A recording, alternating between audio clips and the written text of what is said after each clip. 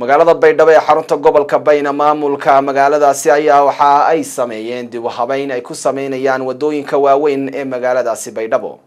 Warbixinta waxaa baydhabo nooga soo diray wariyahayaga gobolka bay axmed saadiq axmed yarow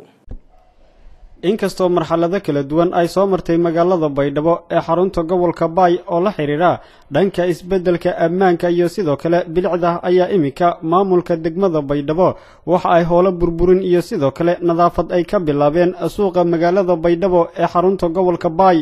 mar aan maanta booqday suuqa weyn ee magaalada baydhabo ee xarunta gobolka baay ayaa waxaa ii muuqanayay howlo burburin ah oo ay sameynayeen ciidamada ammaanka dowladda hoose ee degmada baydhabo. Waxaana goobtaasi hadallo kala duwan ka soo jeediyey qaar ka mid ah mas'uuliyiinta degmada baydhabo. Bismillahi raxmaan ahaa suuqii oo qudaarta la gada jaray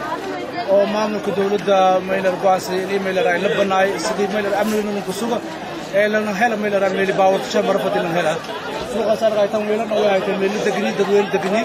oo shaqalada ay ka degnaay hadda ma ilaahay dawladii way go'aastay in ma ilaahay ismaama gobol degmo in ma ilaahay labanaay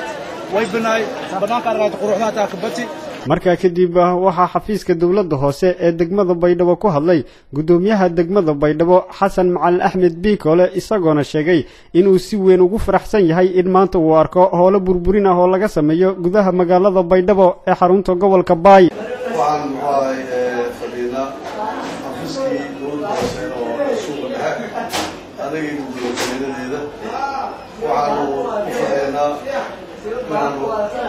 ku sameeyo magaalada kormeer kormeerkaas oo ku saabsan nadaafadda magaalada iyo ganacsamada magaalada inaanu banayna oo howsha ay socotay afar maalmood. Maanta aniyo ku-xigeenada ka soo aaday magaalada inaanu kontarool ku sameeyo shaqadii ay qabteen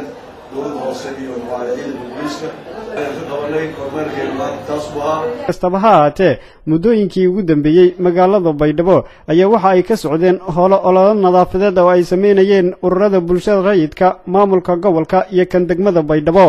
Axmed cabdulqaadir yarow axmed saadaq somaali channel baydhabo